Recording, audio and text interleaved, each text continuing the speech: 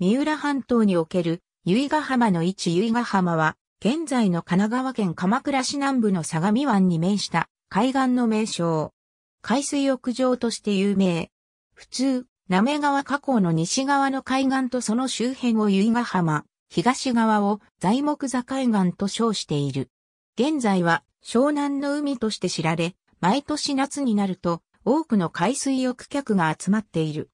鎌倉時代には御家人同士の激戦地であり、現尾成町にあった門中所での裁判の結果の処刑場でもあったため、現在でも人骨は埋まっており、工事で当時の人骨が出土することがある。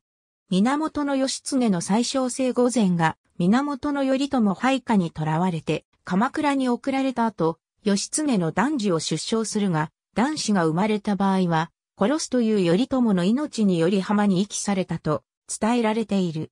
また、有力御家人、和田義盛もここで戦死したと伝えられる。現行の乱の鎌倉の戦いにおいては、新田義貞が稲村ヶ崎を突破して、浜に侵攻、幕府の滅亡を決定的にした。戦前頃までは、鎌倉初期から極楽寺に住んで支配した由緒氏に、ちなんでか、由緒が浜とも表記したが、由緒には共同作業という意味もあり、定説ではない。なお、多くのメディアでは、由比ヶ浜と真ん中に高音アクセントを置くが、地元の人は、由比ヶ浜と頭高型アクセントで発音する。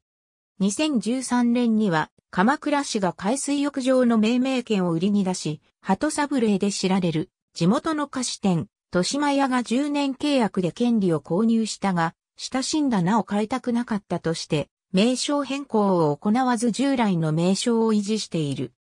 2018年8月5日、白長スクジラの死骸が打ち上げられているのが発見された。体長10メートルほどの本園生まれの子供でオスと見られている。白長スクジラが日本の海岸に打ち上げられ、生物学的な調査ができるのは初めてであり、調査のために国立科学博物館が引き取ることになった。日本神奈川県鎌倉市由比ヶ浜由比ヶ浜は、神奈川県鎌倉市鎌倉地域にある地名。現行行政地名は、由比ヶ浜1丁目から由比ヶ浜4丁目。住居表示実施済み区域。郵便番号は248-0014。1889年、東海道本線が開通したことにより、鎌倉に別荘が建設されるようになる。1902年には江ノ電も開業し、腰越長岡地区は別荘地として発展していく。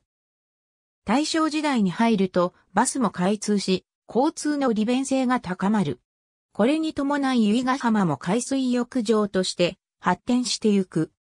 1934年には鎌倉カーニバル、1949年には鎌倉花火大会もスタートし、鎌倉の街全体で夏とビーチを楽しむことが一般化し始める。戦後は国道134号線が開通したこともあり、海水浴客は毎年記録更新され、1964年にはおよそ415万人を記録。自家用車、オートバイと移動手段も増え、多くの人が由比ヶ浜を楽しむようになった。遠隔高さ5階品住宅地由比ヶ浜2丁目には、松方正義が晩年暮らした4000坪の鶴明荘があったが、没後松方家を離れ、1937年に2600坪が13区画に分割されて、高砂海浜住宅地として分譲された。敷地内には松方家の屋敷神であった高砂稲荷が現存する。2018年1月1日現在の世帯数と人口は以下の通りである。私立小中学校に通う場合、学区は以下の通りとなる。ありがとうございます。